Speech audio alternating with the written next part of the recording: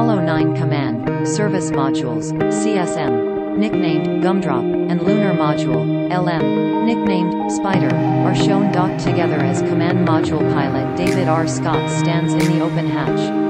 Astronaut Russell L. Schweickart, lunar module pilot, took this photograph of Scott during his EVA as he stood on the porch outside the lunar module. Apollo 9 was to remain over the period of time required for a lunar mission. Most major events had been scheduled for the first days so that they would be accomplished if the flight needed to be ended early. The remaining days in orbit were to be conducted at a more leisurely pace. With the main goals of the mission accomplished,